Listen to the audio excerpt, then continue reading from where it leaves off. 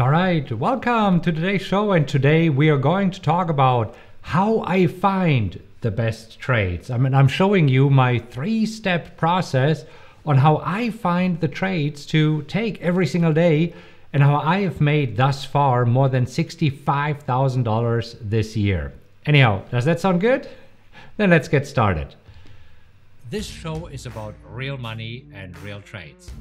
I'll show you the trading strategies that I personally trade, the tools that I use to trade my own accounts, and we will talk about the right mindset of a trader. Now, talking about mindset, I'm going to show you how to create SRC profits. And SRC stands for systematic, repeatable, and consistent because that is the key to long term success in the markets.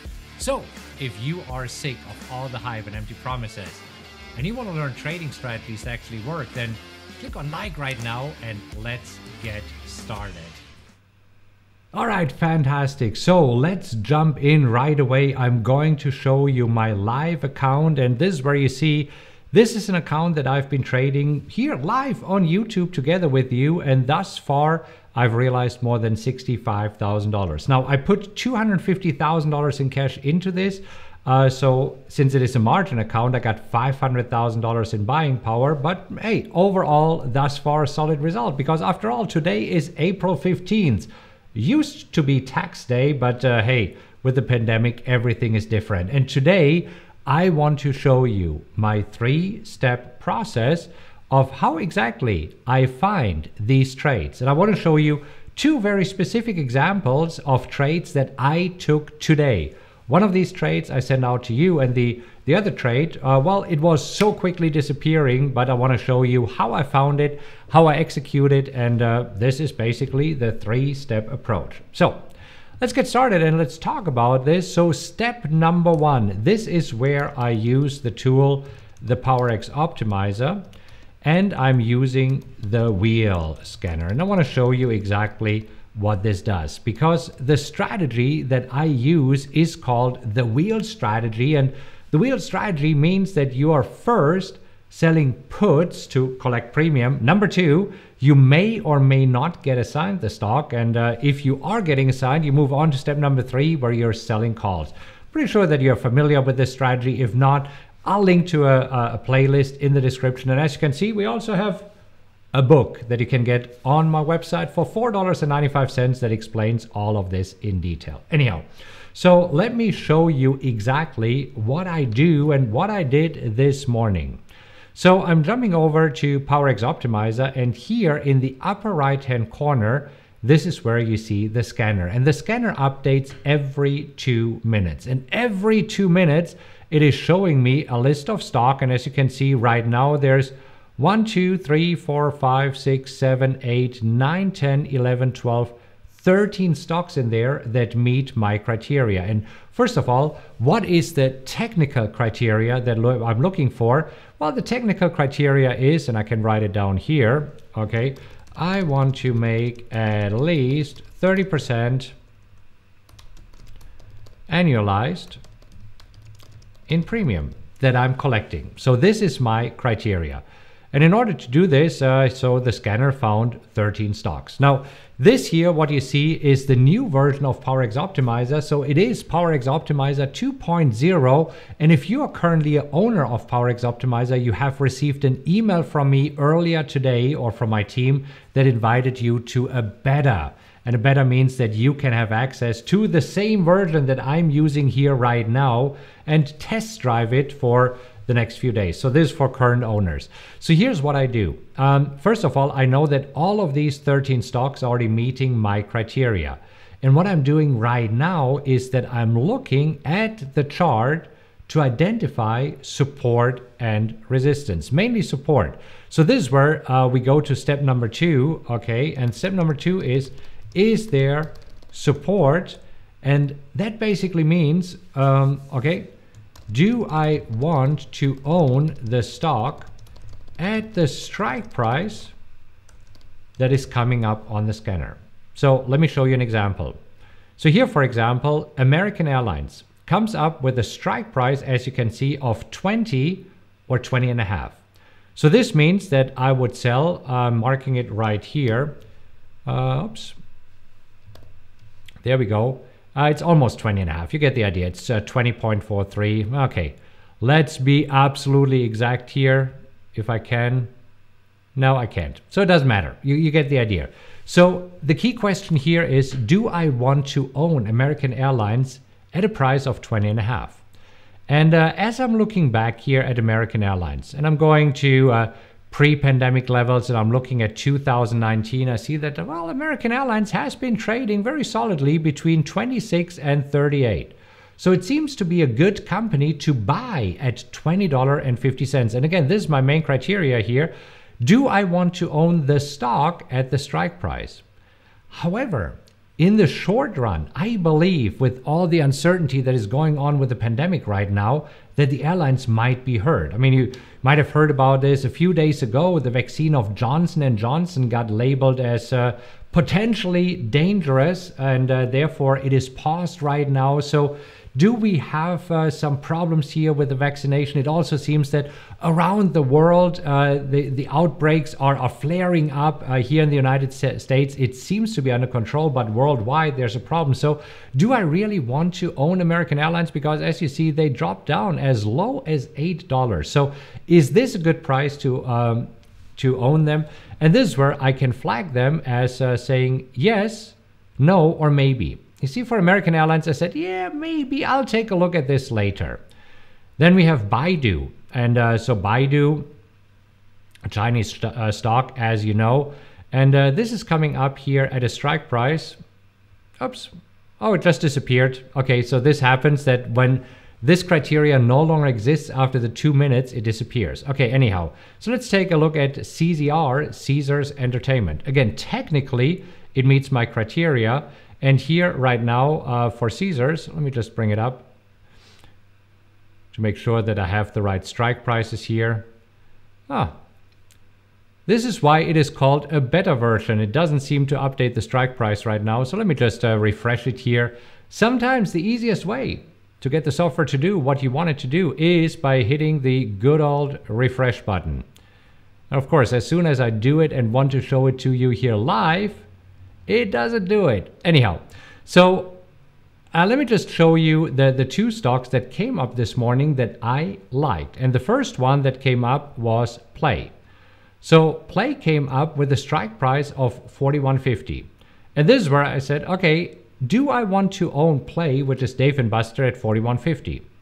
And I'm just looking back and zooming out a little bit, and I see that uh, while pre-pandemic, before uh, the coronavirus hit, They've been solidly trading at around uh, what here 38 as you can see. They've been trading as high as 64 and I thought, you know what?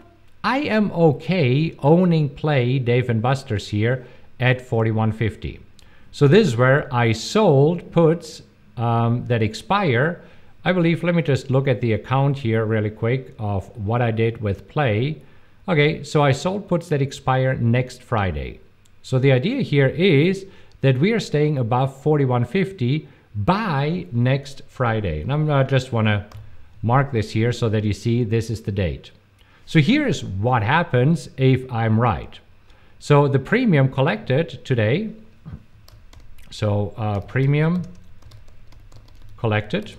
Well, first of all, uh, let's take a look at this. I sold 24 contracts and I sold them at $50 each, uh, 50 cents each. And since Options come in 100 packs, that's $50. So uh, premium collected is 24 contracts times $50. So this is $1,200. $1,200 for a little bit over a week. Today is uh, is uh, April the 15th. So in here it expires on April 23rd. So in eight days, this is not bad at all, right? Because this means that I'm making $150 a day. Now, if it closes above 41.50, I'm getting assigned and I am okay with this because this is where I decided I want to own the stock at 41.50. The other one that popped up this morning was Schwab. Schwab reported earnings, and uh, as a result of this, they plummeted down. And there was some really good premium in there. So uh, I sold the uh, 63.50 and uh, let me just show you how much money I made there. So I sold 16 for 14 cents. Now this is expiring tomorrow. So this is a different play, right? So uh, the premium collected here was, uh, what did I say, 16 times 14. So let's bring up the handy dandy calculator to see how much that is. And uh, so 16 times 14 is 224. So obviously much less, much less than the premium that I collected here for play. But this is a play that expires tomorrow. So we want to make sure that uh, tomorrow, April 16th, yeah, if Schwab closes above uh, 63.50, I'm just collecting the premium and have nothing else to do. If uh, Schwab goes below 63.50 by tomorrow, this is when uh, I'm getting assigned. So the important criteria here is for the wheel scanner, right, is the so-called premium premium per day. And uh, I'm abbreviating it PPD. And uh, here is my criteria. In order for my account size to make the 30% annualized in premium, I want to see at least $100 per day. So um, I already sh showed you the example. So let me just bring up here the two examples. So example Penn, okay? And uh, this is where we collect uh, $1,200 in eight days, okay, because it expires next Friday. So this year means that we are looking at uh, $150 per day, which means check, I meeting my criteria here. Uh, no, this was not for Penn, this was for play. There we go. Play, and then we had Schwab, and Schwab was collect $224 in I don't know, do you want to count today as a day? Sure, we can do this and we can say two days. So this is uh, $112 per day.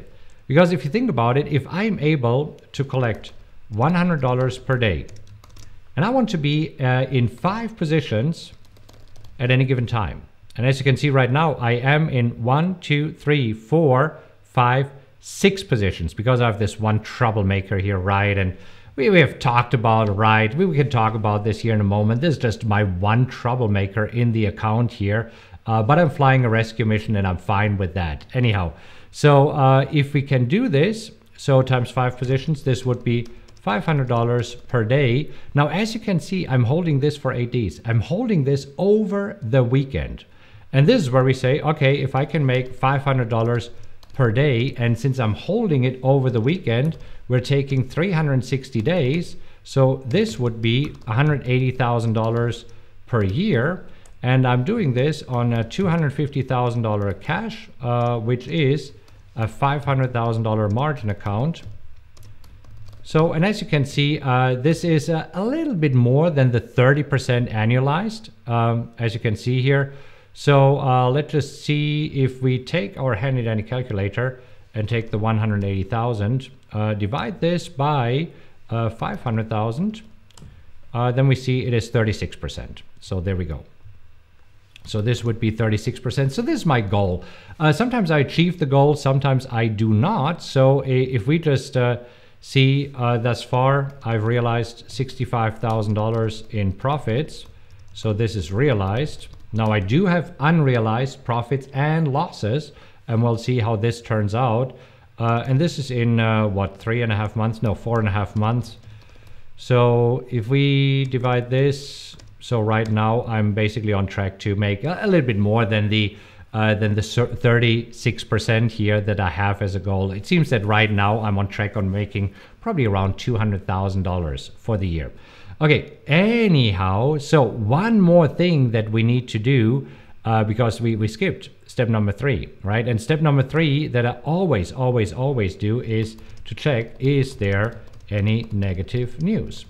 And uh, here's how I do this, because sometimes uh, if something appears to be too good to be true, then uh, yeah, it, it is, right? So what I do here is I just Google the stock, for example, SW, uh, SCHW stock. Let me show you exactly how I do this. So I'm going here to SCW stock And uh, all I need to do now is click on news. See, when you click on news here, it shows you exactly if there are any negative news. And uh, see, Charles Schwab falls as higher expenses eat into Q1 earnings. So this is the reaction that we had today. So there are some negative news, but it's not a, a lawsuit. It's not that they're uh, declaring bankruptcy or something like this. So what I'm mainly concerned about here is um, lawsuits. I'm mainly concerned about uh, clinical trials because when they do have a clinical trial, then uh, it might be that it goes well and everything is whoopee or it does not go well and it's like um, and possible bankruptcies. Bankruptcy. So these are the, the key things that I'm looking for when I look for negative news. So as you can see, it's really not rocket science. Uh, the, the, most important thing for me here is to have a tool that helps me to make the very best decisions here. And uh, yeah, I, have shown you the prototype. I need to see, does the prototype uh, return any results right now? Otherwise, uh, I'll show it to you on the, uh, on the regular version because uh, that is already out. I'm just uh, checking here very quickly on my other screen uh, if it works. And yes, it does again. So we can go back to this. And uh, again, this where right now we have, for example, GameStop is, uh, is popping up. Uh, as you can see here at various strike prices, at a strike price of 125, 128. And the key question here is, do I want to own GameStop at these levels? Uh, do I want to own it at around 125, right? This is step number two. And honestly, I don't want to. I mean, you might be different, uh, but for me, GameStop is not a company that I would like to have long term in my portfolio. So easy enough here. This is where I can simply say, no, this does not make sense at all. So don't like this. Uh, what about GSX? Uh, so GSX, it's also a company that I do not like, never liked it, and recently it got in trouble when the one hedge fund got liquidated. And right now, you could actually get some decent premium if you're selling the the 15 strike price. And oh my gosh, this is way down here. So this is not good because uh, you see this when whenever you see that there's a, a lot of money in a strike price that is that low, right? Current price. So this is a drop of 38%. You can see it here, right? A drop of 38% and I'm still getting a lot of premium. So there's probably some bad news. I don't even have to look for this. If it is too good to be true, it is. Okay, NIO, not a big fan, especially since I am in ride right now. So I only like to be a little bit diversified and not be in all of electric car makers here right now.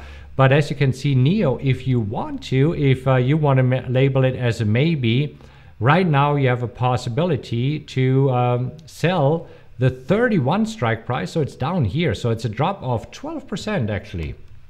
See right here? It could drop 12% and you're good until next uh, Friday. So today is April 15th. So we have uh, Friday in a week. So this is why I marked it as a, as a maybe. Dave and Buster's, yes, I like this. So I'm uh, actually showing this here as a yes. And uh, plug, not a big fan of plug, but you see, fairly uh, easy to label it. Uh, Riot, I was looking into it this morning and I thought, you know what, Riot might actually uh, be cool because as you can see right now, you can pick up some really nice premium for next week at the 32 level. Look at this. So this is not bad, right? I mean, do you want to own Riot at 32? This is the key question that you need to ask yourself, right? Uh, so do I want to own the stock at the strike price? And if you don't want to own the stock at the strike price, don't trade it. Uh, this is where sometimes I see that uh, traders say, "Well, I got uh, I got into what SPCE." For me, that's crazy stock. So I mean, SPCE. Look at this. Uh, it's Richard Branson's space company, and uh, I mean, it went all the way up from what twenty dollars to sixty dollars, and then came crashing down to twenty dollars. Then it bounced back to thirty dollars then now it's down to $23. I mean, this is where if it is too good to be true, I mean, don't don't trade it. So uh, this is where here SPCE for me it was a clear no. That's for me a clear no. SPWR, uh, SunPower Corporate. Um, not the biggest fan of this one. I haven't labeled it yet, but if I haven't labeled it yet as yes, no, or maybe, it means that it just popped up on the scanner and I haven't had a chance. So here uh, we're looking at a strike price of 23. Uh, I don't know. This is another company, as you can see, uh, it went from what? Uh, nothing from $2, $3, all the way up to $56 uh, crashed down to $38, went back up to 52 and right now seems to be on a downward trajectory. So for me, this is not uh, the best. So this is where I want to, it disappeared, but I would like to label it as, uh, as a no. Uh, SEAS just popped up and uh, SEAS, SeaWorld Entertainment. Uh, let's take a look at this one here. Uh, at this one, okay, uh, a strike price of 47. See, this is where for me right now, this would be a little bit too close because if you look back, uh, SEAS, SeaWorld Entertainment, has never traded as high as it does right now. So it has been a pandemic winner. And I'm asking myself, why? Why are they a pandemic winner here? That's, that seems to be odd, seems to be counterintuitive, right? Because uh, it seems that most um, amusement parks over the past year have been struggling, right? So for me, this story does not make sense. Do I like to own it at 47? No. So this is why I would mark this as a no. Now here's the cool thing. After you've done it, I can sort by flag and I just have to look at these two that I like. And I say, okay, between Play and Riot, which one do I like better? So Play, uh, do I want to own this at a strike price of 41.50 because that is what's suggested here versus Riot, uh, do I want to own it at a strike price of 33? And this is where you make a call and you might trade one of them, you might trade both of them. Uh, and this is where you simply click on uh, add to calculator. This brings up the calculator right now and you see, okay, right now Riot trading at this price. This is a strike price. Here is uh, how much I can get right now if I'm trading it. Here's the amount of contracts that I should sell according to my account settings, which are up here right? So if you have a different account size, let's say you have a buying power of uh, maybe maybe you have a buying power of forty thousand dollars, right? So you would set it here, and instead of thirty contracts, you would trade two contracts, which is fine. Or maybe you have even less. Maybe uh, you have ten thousand dollars in cash and you have twenty thousand dollars in buying power. Well, in this case, you would trade one contract. So super easy here, right? Uh, or um, what did I do earlier? Play. So we can bring this up here. So um, I'm going to play and I'm adding this. And uh, so I'm adding it to the calculator. Uh, what did I get for this? Uh, let me just uh, quickly uh, sign in again because it signed me out of my account. So for play at the 4150, I got 50 cents. Okay, so I'm plug can plug it in here. This is what I got earlier. Uh, you could have traded one contract if you have only $10,000 and $20,000 in buying power. So for me, with uh, $500,000 in buying power, right, I would trade, uh, as you can see, 24 contracts, and this is exactly what I traded. And as you can see, thus far, up nicely 16% in just a day. That's not bad at all. Schwab is up, uh, what, 35% in just a day. That's not bad at all. Disney, uh, which I entered, uh, when did I enter Disney? Let's take a look at this. Three days ago, is now at 80% of the maximum profits. Uh, Penn, which I entered three days ago, is at 84% of the maximum profit. So this is not bad at all, wouldn't you say? Okay, so uh, let's just recap. Uh, where are we? So how do I find the best trades to trade?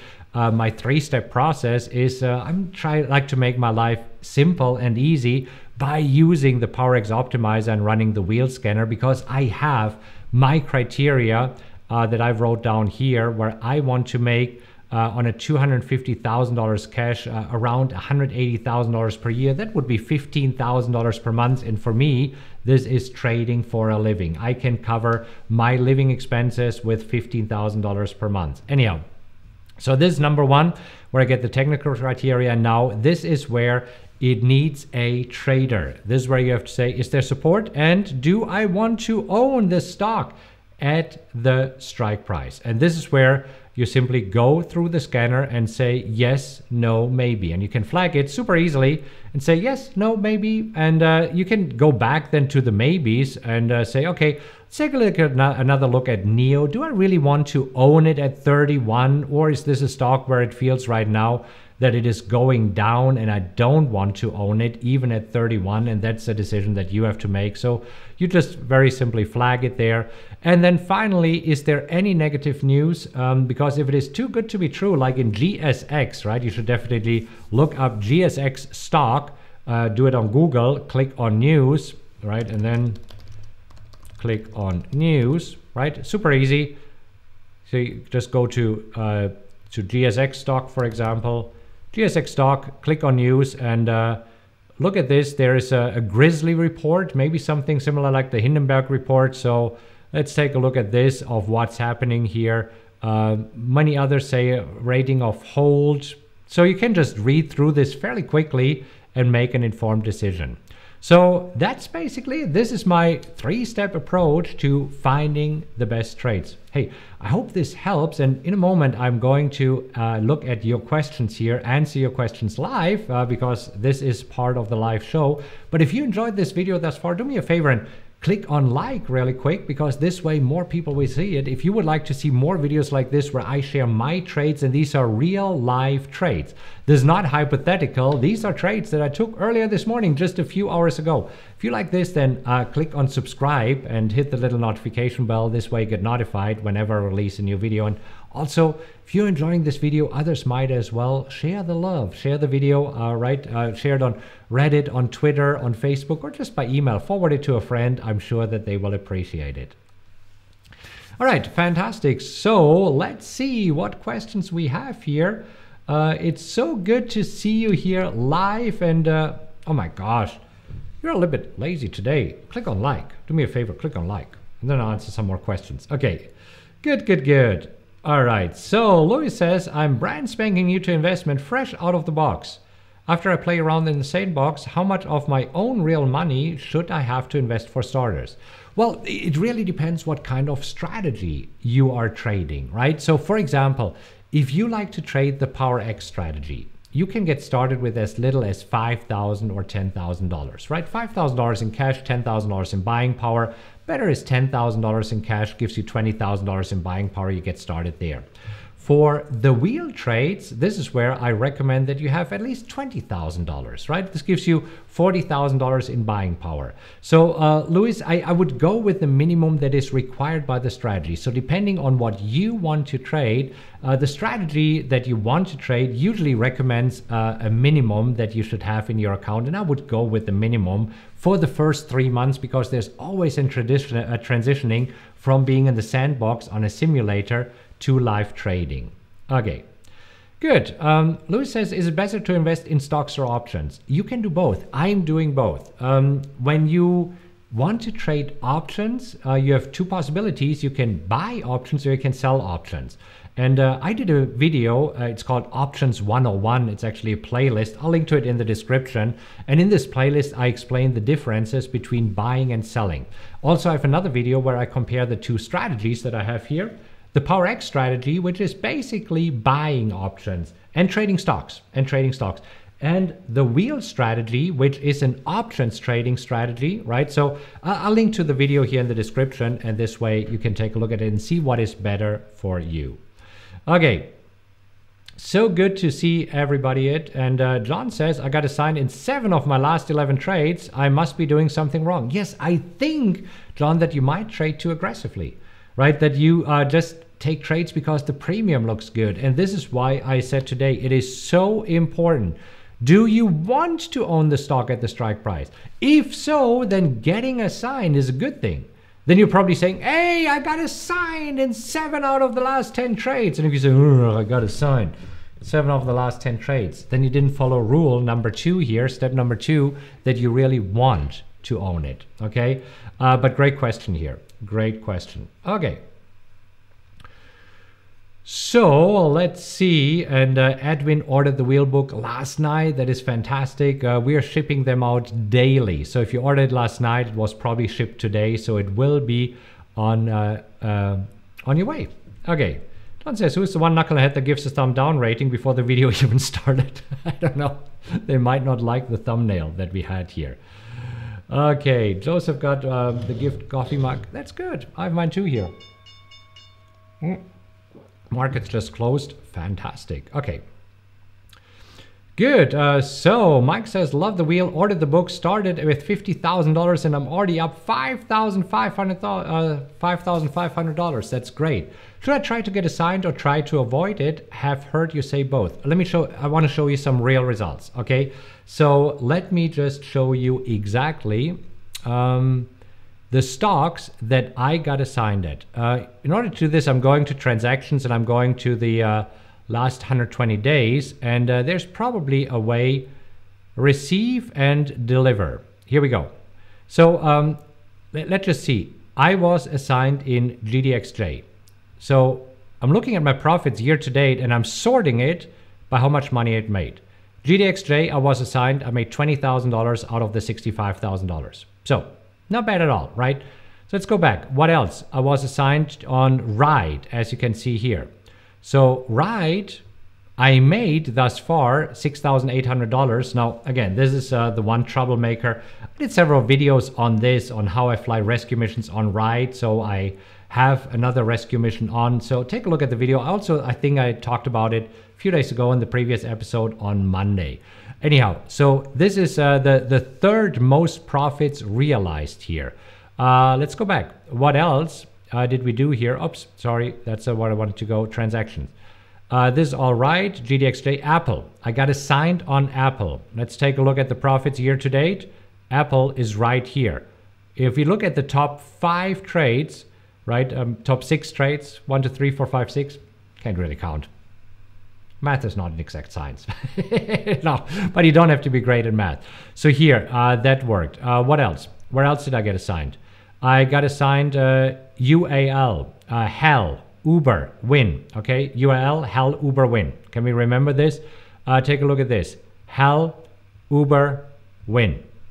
Right? I mean, uh, out of the, the trades that I got assigned, I want to say probably the most profits that I made were on the trades that I got assigned. By the way, UAL, because it's all the way down here, actually did not get assigned. So this was a mistake. Uh, this is where they said you got assigned. And then you see right here it says, uh, no, reversal of assignment. They made a mistake here. So I never got assigned UAL. Anyhow, uh, going back to your question, uh, let's see, Mike asked it.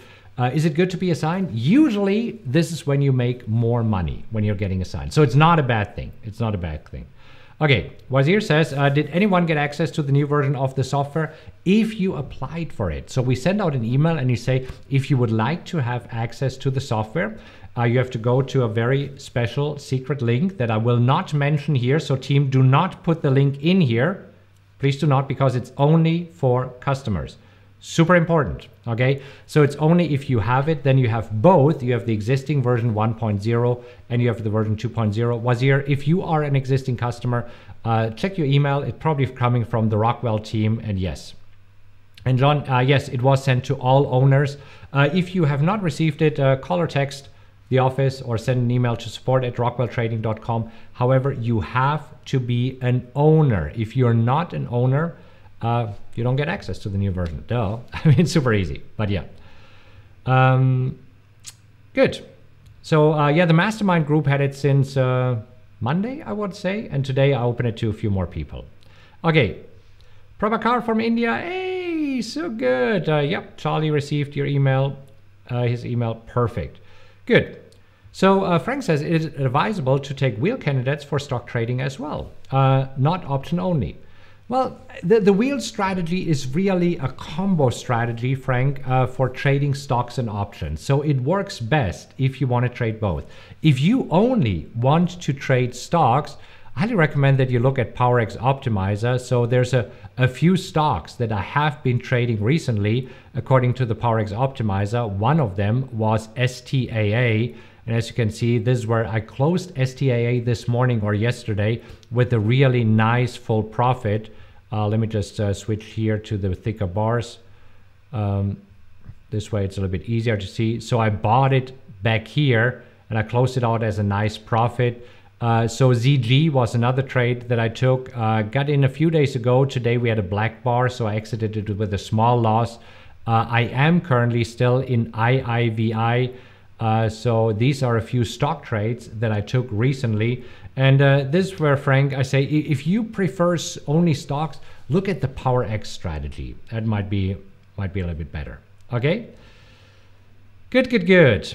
All right. So let's see. Um, Eduardo says, did you reduce your buying power that is allocated to ride to continue to having Friday, uh, to ride to continue having five trades in the wheel, treating ride as separate trade? Yes, I did. I'm trading ride as a separate trade. So yeah, because uh, this is where um, you see what what is a, a long-term trade. A long-term investment is a short-term investment gone bad. This is what it is. So Ride has now become a longer term investment because my break even, I can show you. I mean, there's no secret. You have been following me here. I'm not hiding anything. You see, others are hiding their losses and say, oh, yeah, I never have a losing trade. I only have winning trade. No, I mean, I, I have losing trades and I have trades where that do not go well. So you see, my current break even, my original break even was at 2150. Right now is at 1790 and you see it closed today at $9.80 so it has to climb back $10 here. So i'm still trying to lower my cost, but uh, this is not going to happen within one week right? I mean obviously this is where i will be in this trade probably for the next few months. And uh, if you want to follow along click on subscribe. Then you can follow along of how i'm doing with my trade here and how i'm climbing out of the hole if i do. Well i shouldn't say this because I've been doing it for a long time. I know what I'm doing. So for me, it's when I climb out of the hole. So this is when, anyhow. Good, good, good. So uh, Barry says I have a really good win loss ratio. Yeah, can't complain. Very happy thus far. Very happy. Okay. Dear says have the software. Okay, fantastic. Ricardo, I know you are just a rock star. Profit $65,000 in three months. That is awesome. And Ricardo is also a part of our mastermind group. So, so excited for you. Okay, good, good, good. Um, so Joe says uh, short, short seller research also a factor in negative news. You can include this, Joe. I mean, it's it's actually a good idea, probably. Um, you just have to see right now it's a hot topic that is being picked up by the news, right? So it could be clickbait here. Um, so anyhow, okay. Uh, Mark says, could you please tell us why Apple is not a troublemaker anymore? Absolutely, very easy because uh, Apple, I was assigned at 133. So the strike price that I got assigned was 133. And as you can see right now, Apple is trading at 134.50. So this is where right now on Apple, I'm actually making some good money. As you can see, $1,500 right now uh, today on Apple. So overall, I have another $1,000 that will be tagged into this. So uh, I just need to see by the end of the week, if it stays above 133.75, my shares will get called away and I'll make uh, around $1,800. So this is what we are looking for by the end of the week. So this is why it's not a troublemaker anymore. And this is where you see you got to have a plan. Got to have a plan. Did I did I want to own shares at 133 at that point? Yes. Did it work out? Yes. Do stocks usually bounce back up if they're solid stocks? This is why it's so important that you need to check the news, right? Uh, so is there any negative news? So you don't want to you don't want to catch a falling knife, right? Like GSX, GSX is crazy trade. Don't trade this, right? And uh, SPCE is crazy trade. Don't trade it. I mean, just just because it pops up on the scanner, it's only step number one, right? Do you really want to own SPCE or GSX? I mean, just do a little bit of research, and you'll see like, no, probably not. Now, right again, this is a trade at the time I did want to own it. Right now, I don't want it anymore. But you see, this is a, a trade way back in the day. So I just want to show you here. Um, right, I actually did this uh, trade back here when when Ride was at 26, and then yeah, right now I don't want to own it, so I'm getting rid of it, and uh, I'm flying a rescue mission here. Okay, anyhow, good, good, good. So let's see and. Uh, JD Stone says, GSX my promise.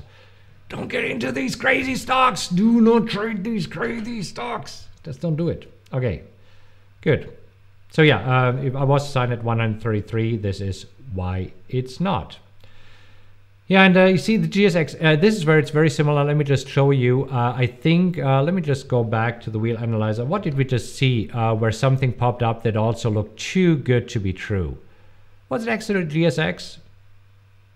Uh, yeah, CGSX where right now, uh, I mean, yeah, this can drop 38% and you're still making 73% annualized return. I mean, this doesn't make sense. This does not make sense. So this is where there's problem. There's trouble here.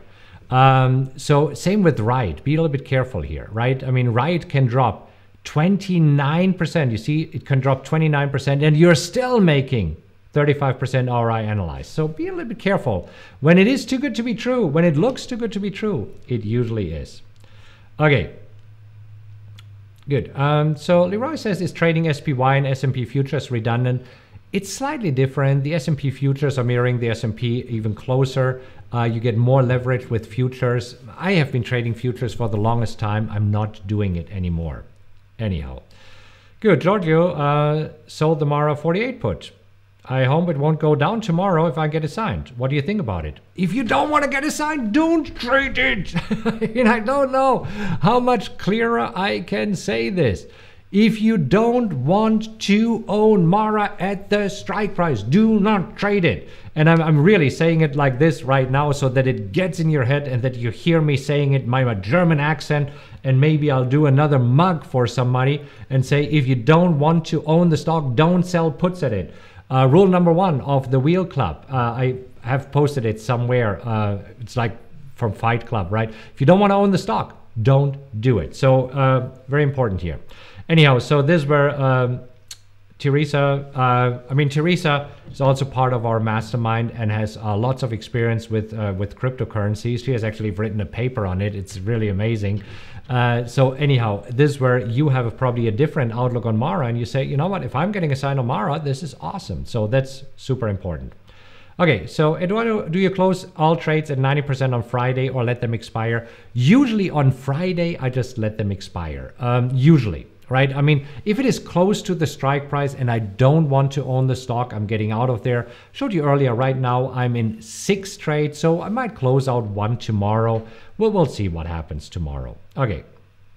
So Barbara says, what about positive news? Is it not relevant? No, uh, because I, I really want to look for really, really bad news here. Okay. Good, good, good. Jim, yes, need to update my reminders for the new schedule. Yeah, I'm doing it twice a week now. I Used to do it three times a week. Uh, right now, twice a week on Mondays and Thursdays, I'm going uh, going live here on YouTube.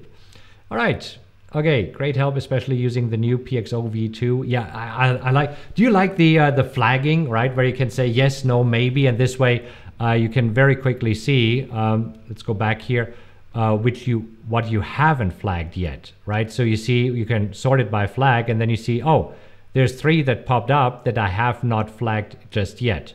Uh, four actually, AL, RAD, and VLO. So super easy uh, to quickly see which ones do I need to take a look at, which ones do I already like, and uh, which ones are possible maybes. So I, I like it a lot. And uh, yes, we make the colors a little bit more popping because I know that right now it's difficult to distinguish between orange and red. So yes, it's that's why it's called a beta version. Beta version means it's not yet ready for production. So right now uh, we are releasing a new beta version every day. So if you're part of the beta group, if you are an owner, uh, you will see that there's new improvements every single day. Okay. Good, good, good. Uh, Bernard, if you haven't received an email, um, email support at rockwelltrading.com and they can help you out. Okay, uh, Spiritfire says, what is the best broker for Europe? It depends on where in Europe you are and what you have structured. Uh, so for example, I right now, I'm in the process of moving my account to Tradier. If you want to learn more about this, go to rockwelltrading.com slash broker. However, depending on where in Europe you are, you might or might not be able to open an account with them. I would try this first. If you can open an account with them, I think that's your best choice. Did a video on this. I'll link to it in the description. If not, uh, I think Interactive Brokers is a great choice uh, for uh, for Europeans. Okay, good, good, good. Uh, right below 10, what now? Um, that's it's actually good. I want to lower my cost basis, so I sold 10 puts. I'll talk about it probably next week, so we'll see what happens here uh, tomorrow, and we'll see what happens over the weekend because, as you know, Ride is participating in the San Felipe 250, the Baja race. Uh, so we'll see how well they do. And uh, so let's see what happens on Monday. So in Monday's Coffee with Markus, we can talk about it in more detail. And if you would like to be part of this, then uh, click on subscribe, hit the little notification bell. This way uh, you get notified whenever I go live or release a new video. All right, Timothy says, I ordered the wheel book. Uh, when will it ship out? We are shipping them out daily. So if you ordered it yesterday, uh, depending on when the cutoff was, we might have we might have shipped it out uh, ye- yesterday. Otherwise, we're doing it today. Okay, so um, let's see.